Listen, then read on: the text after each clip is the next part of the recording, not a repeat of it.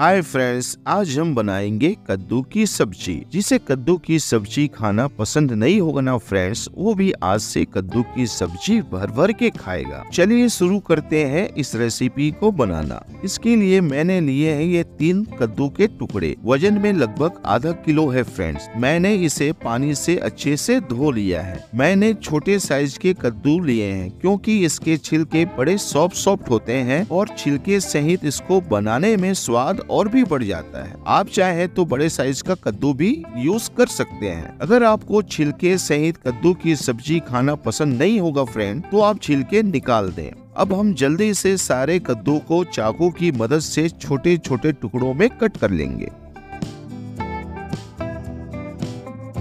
हमने सारे कद्दू को कट कर लिया है फ्रेंड्स अब चलते हैं गैस की ओर और, और रखते हैं कढ़ाई को मीडियम फ्लेम पर और डालें एक छोटी कटोरी तेल और तेल को थोड़ा गर्म होने दें। यहाँ पर हमारा तेल गर्म हो गया है। अब डालें एक चम्मच जीरा आठ से दस चॉप्ड लहसुन की कलियाँ, तीन सूखी लाल मिर्च और एक मीडियम चॉप्ड प्याज। अब इन सबको करछी की मदद से मिला लें और भून लें इनके गोल्डन ब्राउन होने तक। आप देख सकते हैं फ्रेंड्स ये गोल्डन ब्राउन हो गए हैं। अब डालें तीन आमचूर को और मिला लें, जो कद्दू की सब्ज़ी के फ्लेवर को और भी बढ़ा देगा। अब ऐड करें कटे हुए कद्दू को और अच्छे से मिला लें। और ढककर कुछ देर तक पकने दें। ताकि कद्दू जल्दी से सॉफ्ट और नरम हो जाए। अब ढक्कन को निकालते हैं और करछी की मदद से कद्दू को मिला लेते हैं। आप देख सकते हैं फ्रेंड्स, हमारे कद्दू धीरे धीरे करके सॉफ्ट होते जा रहे हैं। लगभग कद्दू 50 परसेंट कुक हो चुका है।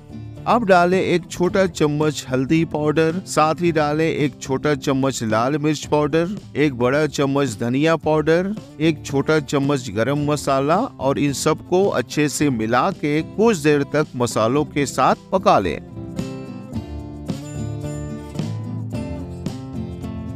अब डालें एक मीडियम साइज़ चॉप टमाटर और एक चम्मच नमक टमाटर के ऊपर और ढक कर दो मिनट तक पकने दें। ऐसा करने से टमाटर जल्दी से गल जाते हैं फ्रेंड्स अब ढक्कन को निकालते हैं और कद्दू के साथ सभी टमाटर को मिला लेते हैं और कद्दू को टमाटर के साथ कुछ देर तक पकने दें, जब तक टमाटर पूरी तरह से घुल न जाए और कद्दू के साथ मिल न जाए।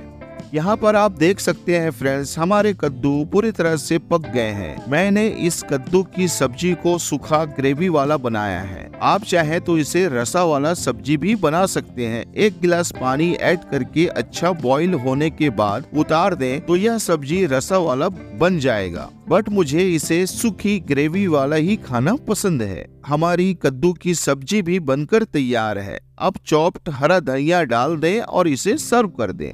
तो लीजिए पेश है सुपर टेस्टी, सुपर डिलीशियस कद्दू की सब्ज़ी। आप इसे चावल के साथ या फिर रोटी के साथ एंजॉय कर सकते हैं। ज़रूर ट्राई करिए मेरी इस सिंपल सी कद्दू की रेसिपी को। मेरा यकीन मानिए फ्रेंड्स अगर घर पर आपके किसी को कद्दू की सब्ज़ी खाना पसंद नहीं होगा ना फ्रेंड्स वो भी आज से कद्दू की सब्ज़ी को भर भर के खाएगा। घर पर बनाए इस रेसिपी को फ्रेंड्स और अपना अनुभव ज़रूर शेयर करें कमेंट करके। अगर फ्रेंड्स आपको आज की रेसिपी पसंद आई है तो हमारे इस वीडियो को लाइक करना और हमारे चैनल को सब्सक्राइब करना बिल्कुल भी मत भूलिएगा। तब तक के लिए goodbye and take care